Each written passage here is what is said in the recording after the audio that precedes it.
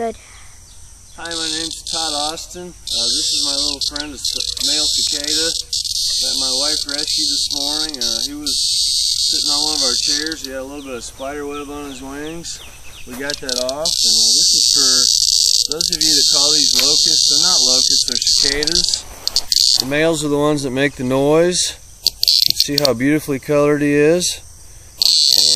He has a little membrane down here that makes a little drum noise. And what I'm going to do is just simply let him go. We had a little fun time with him this morning as I used him as an alarm clock to wake up my three daughters.